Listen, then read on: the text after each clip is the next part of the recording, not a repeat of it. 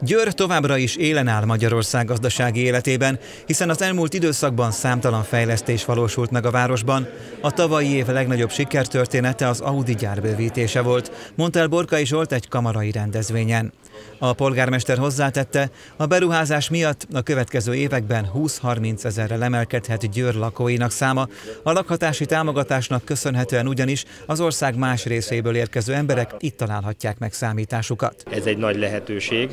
Én úgy gondolom, ezek mind-mind abba az irányba mutatnak, amely segítheti a kis és középvállalkozásokat, és ne felejtsük el, hogy azok a nagy fejlesztések, ami először egy nagy küzdelem után az Audi gyár megépülése, lassan épülése, vagy ha hozzá kapcsolódó logisztikai partnak a kialakulása mind-mind kis és középvállalkozásoknak a helyzetbe hozását is jelenti. A rendezvényen elhangzott 2009-ben és 2010-ben a város és a kamara több mint 200 millió forinttal támogatta a mikro- és kisvállalkozásokat, hogy megtarthassák a munkahelyeket vagy újabbakat teremtsenek.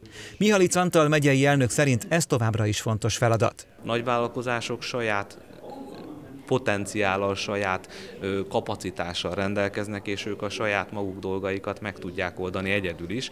De azok a cégek, akik viszont a kamarától várják a támogatást, őket támogassuk abba, hogy ebben a kiemelkedően fejlődő gazdasági környezetben ők is profitálhassanak, és ö, gazdasági eredményeiket növelhessék. Parag László, a Kereskedelmi és Iparkamara elnöke úgy látja, Győr helyzete több szempontból kivételes.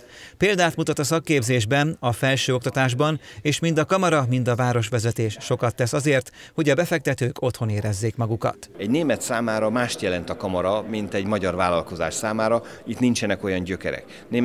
Németországban ez egy több száz éves intézmény, igen-igen komoly patinával, és hogyha ott egy kamara és egy városvezetés közösen lép fel, akkor az egy olyan bizalmi viszonyt teremt, bizalmi környezetet, ahova érdemes befektetni. Ennek Győr egyébként nagyon komoly haszonélvezője. Az elnök beszélt a kamara előtt álló legfontosabb feladatokról is. Mint mondta, be kell fejezni a szakképzési rendszer átalakítását, újra kell gondolni a felnőtt képzést, és közelebb kell vinni a gazdasághoz a felsőoktatást.